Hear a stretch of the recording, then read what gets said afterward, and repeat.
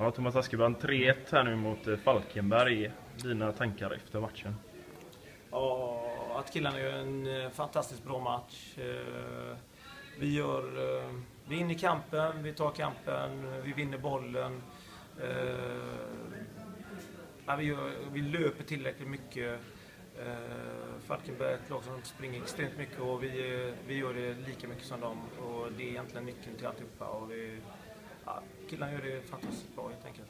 Det var väldigt öppen första halvlek, eller vad är ditt, dina intryck?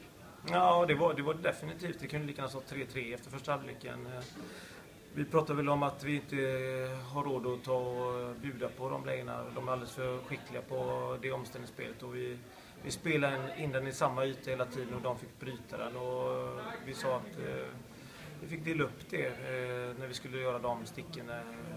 Och så hittade vi lite andra spel istället. Och det blev, det blev bra mycket bättre. Och andra halvleken så får de inte de, de omställningslägena. Så att, eh, nej, de gör det jävligt bra killarna.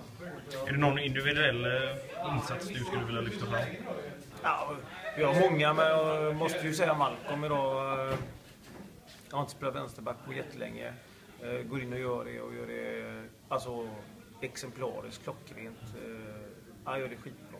Så att, Drugge var sitt gamla jag. Mackan gjorde jättebra på i mitt fält också. För att ta flera år. Men alla var bra idag. Men, eh, för att ta några. Tack så mycket. Tack.